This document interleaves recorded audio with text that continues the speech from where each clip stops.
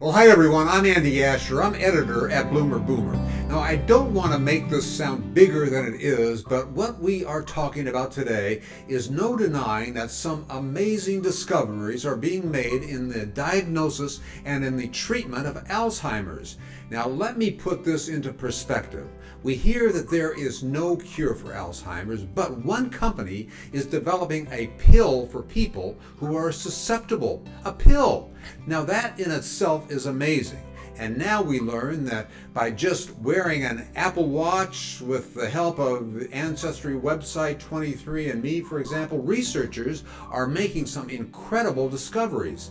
And today we're talking to one person who is on the pinnacle of these breakthroughs. He is Dr. Martin Tolar. Thank you, Doctor, so much for joining us today. Pleasure to be here, Andy. Well, um, you know, I admit that I do get overly excited when I hear about big discoveries like this, and I can't even imagine what it would mean for all of us if a pill was developed to treat Alzheimer's. Now, is this as big as I seem to think it is? So the, the, the tragedy, one of the tragedies of Alzheimer's is that for almost 20 years we were not able to uh, develop a treatment, effective treatment and and but the, the, what we have learned enormous amount of information and understand the science understand the biology of the disease. And what really where we are right now that we have a clear path forward. Um, the the problem is that you know in the in the past 20 years most of the programs that have been under development have have gone away. So there's very little in the remaining pipeline. And but and we're one of those that have a chance to be a drug in the next few years. Oh, but again so we're able to yeah, sorry. Yeah, go ahead. No, no. And then there's the stuff about what's being done by Apple and studying whether data from iPhones and Apple Watches can detect signs of dementia. That sounds to me as a as a game changer. What's with that? So uh, we need to improve the way we find the patients, and especially to find the patients early. So if we can find the patients early, we can intervene early because our approach can slow and potentially stop the progression of the disease uh, but it cannot reverse it. So that's why the, the Apple Watch and, and all the technology that can help us diagnose the patients early is so important. Wow. Well, I uh, so let me get to your company, Alzheon. I, I was poking around. Uh, I was poking around the uh, the site through your uh, Alzheon website, and it's super technical. so tell me, what is what is Alzheon? So we're we're a biotechnology company. We were founded about six years ago, uh, and we're a group of people who have worked on Alzheimer's disease for over 20 years. Uh, each of us has about a decade experience in big pharma, and then another decade in in the biotechnology. And we were we we decided to, to try to simplify the problem of solving the puzzle of Alzheimer's uh, by focusing on very high risk patients based on their genetic background.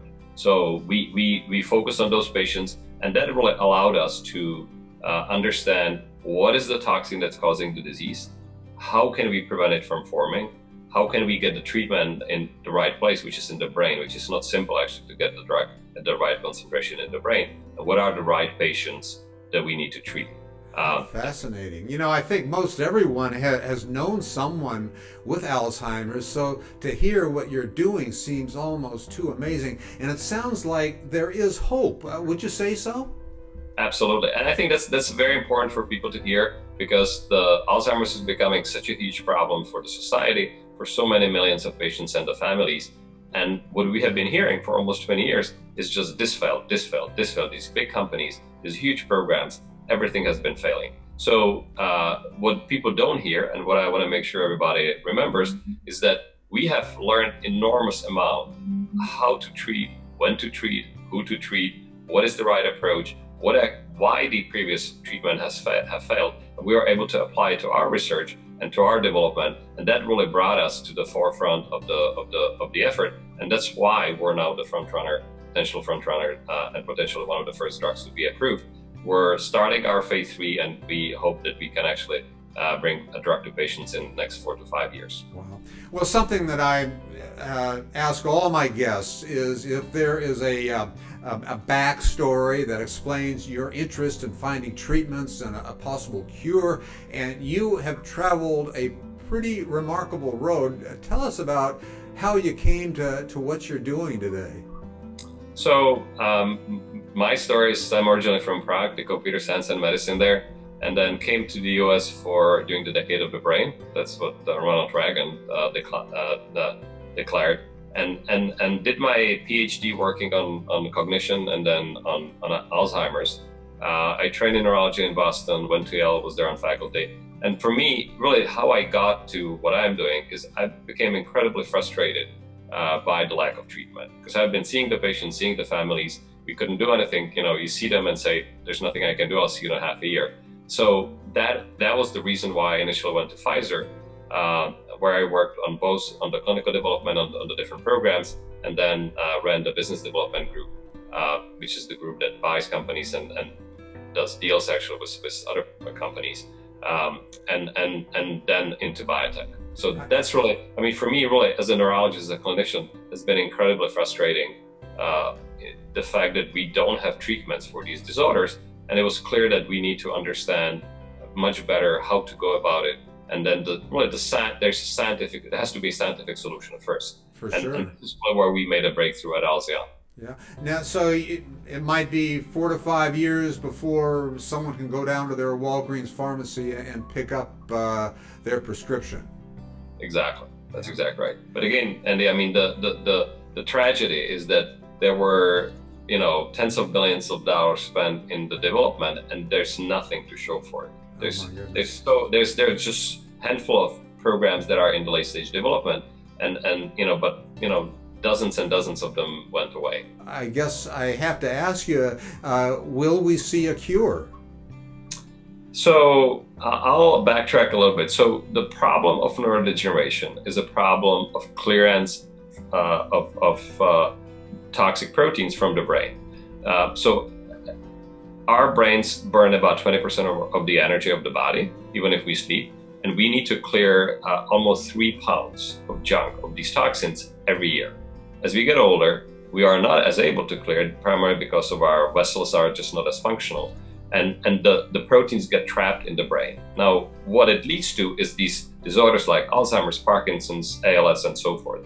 So our approach and our technology is improving clearance of these proteins from the brain. So are we going to find a cure? We can potentially, with a drug like ourselves, which is a pill, uh, prevent the onset of the disease. If you call that cure, I mean, that, that is as the closest as it can be. It's going to be very similar to how we treat cardiovascular disease. We see people in their 40s and 50s. The biggest risk for Alzheimer's, as is for other disorders, is age.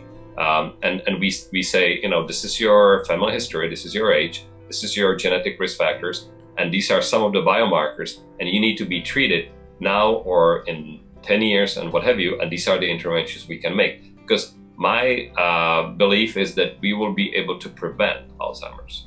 That's um, that's that's a, a, a, that's coming a long way. That's coming a long way. Um, and again, to go off track maybe a little bit because I did uh, read that. Uh, you know your background. You you led the uh, Velvet Revolution that toppled the uh, communist regime in the former Czechoslovakia back in November of 1989. Wounded, one presumably dead. The communist regime in Czechoslovakia was drawing to a close.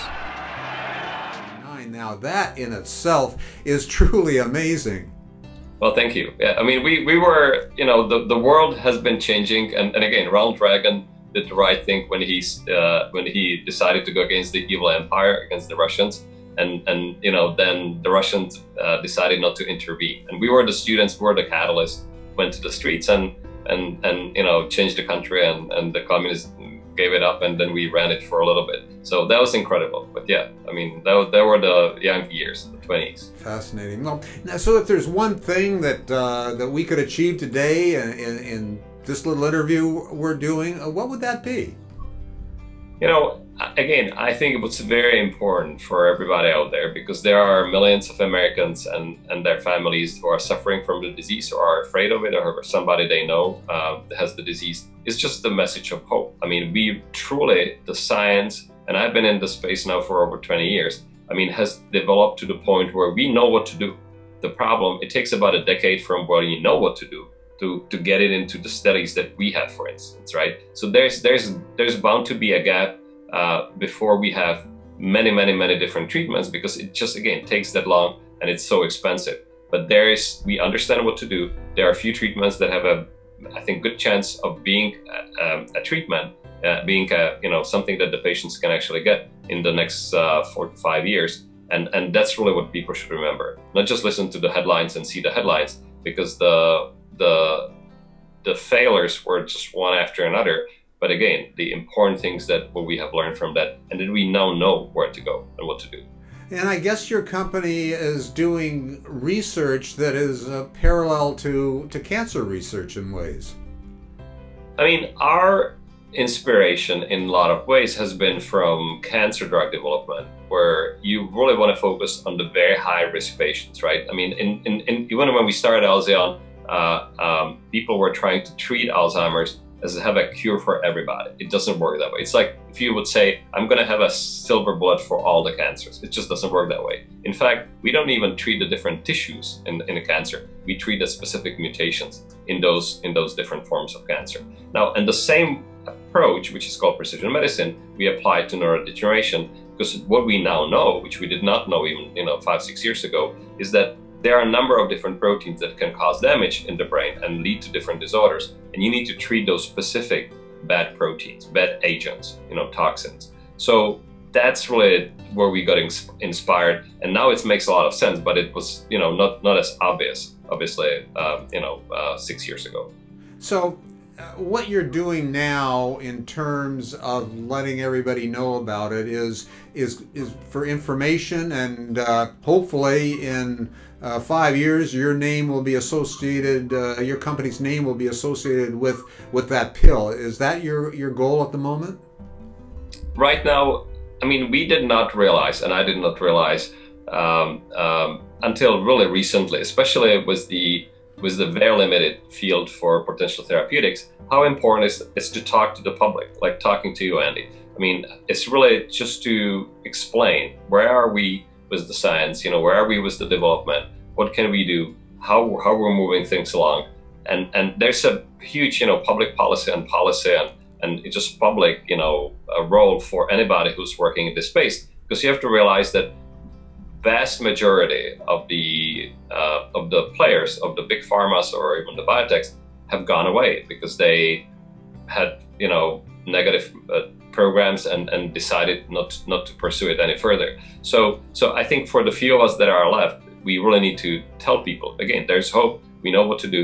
We're working on it, and and um, you know fingers crossed we will have a uh, we will have an effective treatment that can change the uh, the course of the disease, slow it or stop it within the next you know four to five years.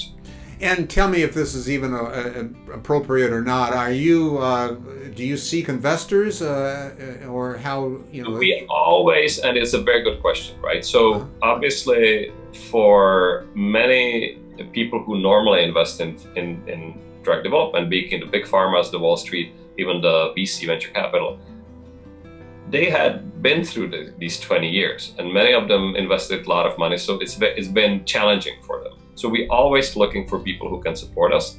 You know the uh, historically we were we have institutional investors but we were most successful with people who personally care about the disease. Um, so if there's anybody who wants to work with us help us you know with what we're doing we'll be delighted. Um, we always uh, you know seek supporters. Again, this is such a huge problem. I mean, I think this, you know, as a society, we're facing two things: the global warming and, and Alzheimer's. It can really derail a lot of things that we're we're doing, and and and and we really need to come together around this issue and, and this topic, and and again support the, the the, the few of the remaining players that actually can make a difference. So, uh, thank you so much, uh, Dr. Tolar. Appreciate it. Thanks so much, Andy. It was a pleasure. Thank you very much. That's uh, Dr. Martin Tolar, President and CEO of Alzheon. And this is a wrap for today. Thanks for watching, and we will see you next time. So long.